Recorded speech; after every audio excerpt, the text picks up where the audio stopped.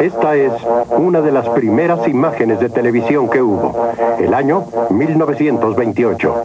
Tan solo ocho años después, la carrera hacia la televisión habría de ser ganada y perdida por el hombre que abrió el camino y grabó esta imagen. The station goes on the air.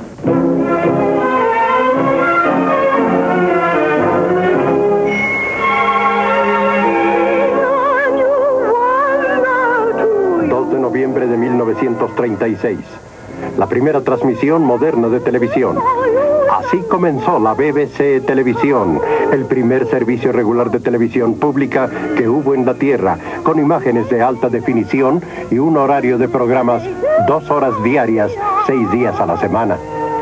Solamente unos 2.000 espectadores vieron esta primera transmisión, pero fue esta la que marcó el final de una extraordinaria carrera internacional por la televisión, que obsesionó a un puñado de pioneros desde Tokio hasta Berlín y desde San Francisco y Leningrado hasta Londres.